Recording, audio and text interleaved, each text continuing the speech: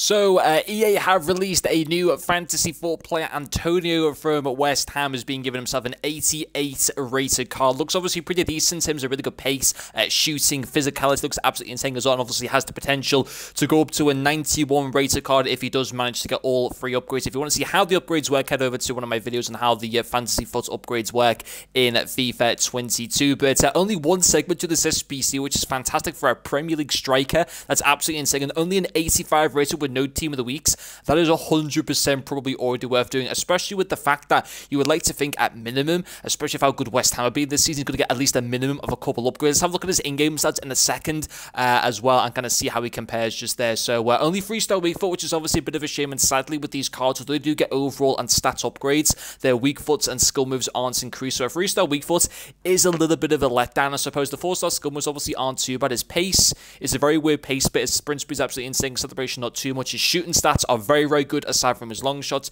His dribbling stats itself, uh, apart from composure, again, slightly, it's a bit of a weird card. This, and some of his stats are insane and some of them aren't quite. Now, obviously, it's a shame that his weak foot's never going to get increased, but in terms of his composure, his long shots and stuff like that, they will get increased with the more upgrades that he does get. You know, that composure can easily eventually, maybe if it gets all three upgrades, that composure is going to be in the mid 80s comfortably, which is going to be a lot more better. You know, his heading, jumping is fantastic. His physicalities are really, really good. Um, his uh, traits a kind of nice and power header and flair. It's a shame he doesn't have like outside foot shot or finesse shots or whatever.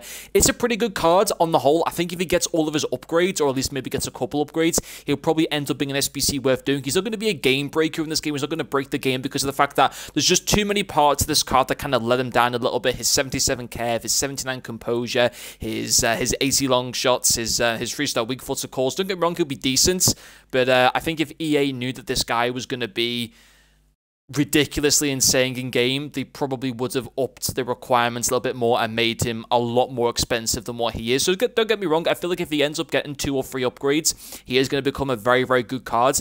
But I think just at the moment, despite some of his stats look absolutely insane, and his base stats look really, really good when you go into his in-game stats, a few of his stats, and that in particular the three-star weak foot, do let him down a little bit. But I, I could still understand people um, completing this SBC for a Premier League striker. I still think there is probably pretty decent value in uh, in completing him, linking him up with that FUT Birthday uh, Declan Rice as well. So yeah, on the whole, still a pretty decent SBC. Just a few, a slight shame about some of his stats. But anyway, guys, thank you for watching this video, and I'll see you guys later.